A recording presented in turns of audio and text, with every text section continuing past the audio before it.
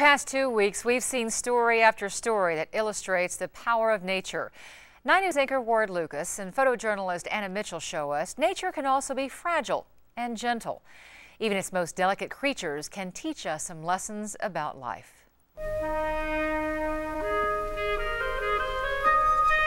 They showed up on May 6th this year. The bleating, high pitched whine filled the skies as they scoped out the neighborhood feeders and began their chaotic aerial maneuvers, staking out territory for the summer.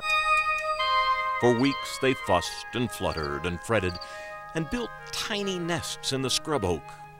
The nests aren't much bigger than a whisper, a fragile speck of life, a promise of things to come.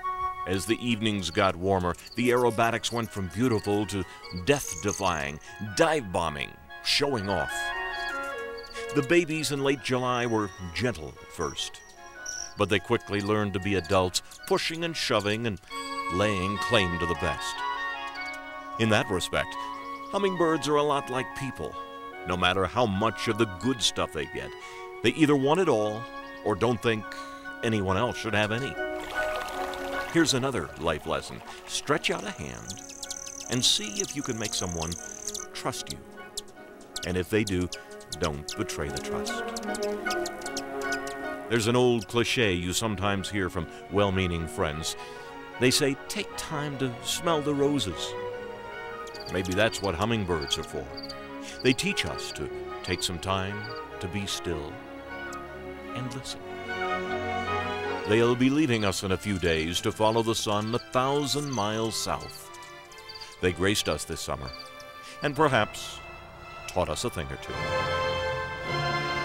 This is Ward Lucas.